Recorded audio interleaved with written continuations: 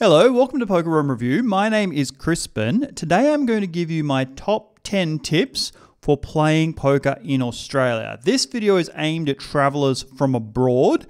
Those who are watching this video from Australia, leave your additional tips for our fellow travelers in the comments down below. Some of these tips are poker specific, but others are useful for anyone traveling around the country, including number one, which is understand the size of Australia. Australia is a vast continental landmass, and the distance between major cities requires air travel. If you are from Eastern Europe or even the coastal United States, this is going to be a shock. Unless you're only going to be in one location for your entire trip, be mindful of this fact and adjust your travel plans accordingly. It won't just be a matter of a bus ride going from city to city. Number two, costs in Australia are expensive. Australia is not a cheap holiday destination for most people. On the plus side, there are high salaries, high standards of living, nice environment, nice culture, nice people, safe environment. Conversely, food, transport, accommodation are cripplingly pricey.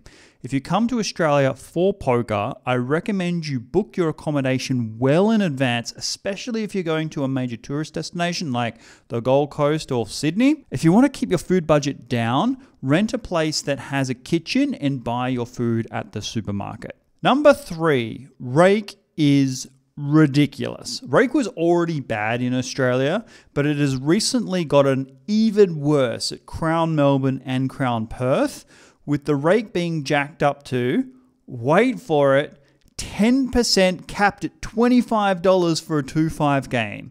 Adelaide has more than $20 in rake for a 1 3 game. Honestly, you will not find it much better elsewhere. The casinos tend to be monopolies within their city and jurisdiction, and thus the service and player rewards is pretty limited, with customers being generally screwed. Number four, Australian casinos don't tolerate clowns. Now, I know you guys will anyway, but while you're in Australia, you do well to treat the dealers and staff with respect. One thing I've noticed around the world is that perhaps it's because dealers rely on tips or because of the culture of customer service or competition. Some players get away with talking to staff and dealers a certain way.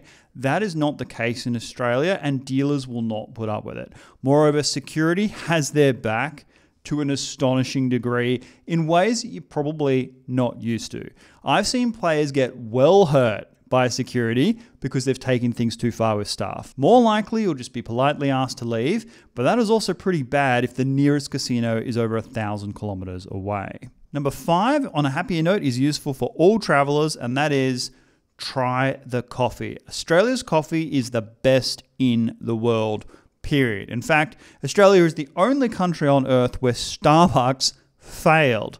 Aussies took one sip of that horrible syrup and retched. Believe me, when you are sitting at the poker table for endless hours, that barista coffee is a critical part of your positive experience. Yes, everything gets charged in Australia, but it is worth the money.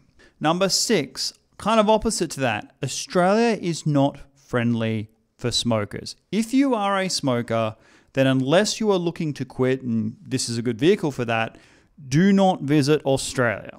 It will not be an enjoyable experience for you. Not only are nicotine products the most expensive in the world by far, smoking is severely restricted in most locations and certainly anywhere near a poker room. And if you want a completely smoke free environment, Australia is an awesome, beautiful, and exotic location to travel. But if you need that fix, then just don't bother with Australia. Smoking has been effectively stigmatized.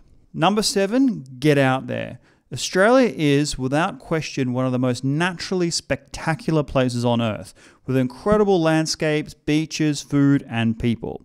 Even if you come specifically for a poker series, extend your stay, break it up somehow, and go do some other things. If you're going to come all this way to Australia, then you should absolutely experience the comparative advantage of this country, and that is its natural wonder.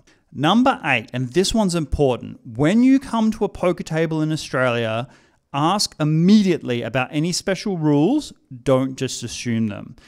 In Australia, casinos are rule sticklers and decisions will be made by the letter of the rule. I will give you a story that is 100% true that will astound you. There was a casino in rural Australia that had a fold line around the middle of the table. Any card that goes face down across that line for any reason is dead. There is no exception. So much so that there was a case where a guy had all his chips in the middle. The person next to him knocked his beer over by accident. The beer spread across the table and lifted up the cards, which floated over the fold line, and the hand was dead.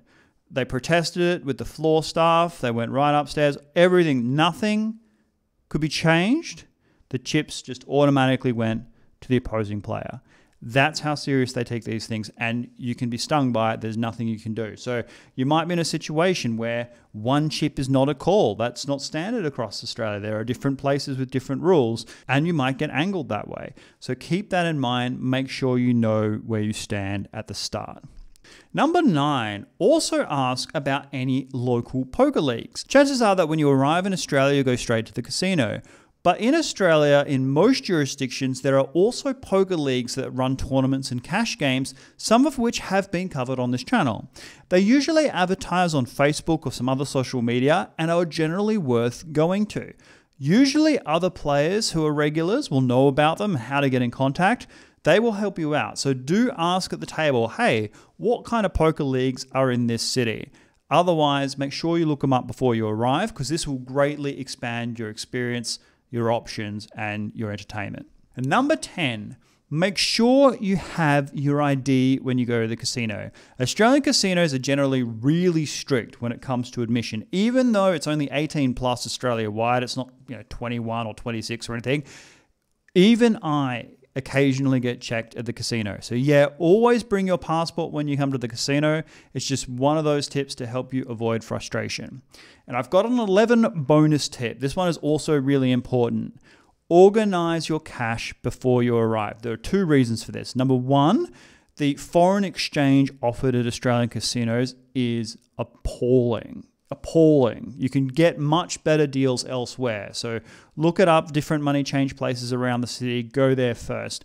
Secondly, the ATMs that exist at casinos have strict limits on them, and those limits last for an entire day. They also charge for every transaction on top of your international fees and things that you'll be charged by your own bank. The ATMs also gouge when you make withdrawals. So make sure you get your currency from somewhere else in the city before you arrive at the casino. And if you can, if it's conducive, if you need to get more money, try and organize that again somewhere outside of the casino because you really do get ripped off that way. Now, I know one of the themes of this video is that everything's expensive, rake is ridiculous, and everything costs money. I'm not trying to deter you from coming to Australia. You just needed to know these things up front. There's also one spectacular exception, and that is when it comes to taxes.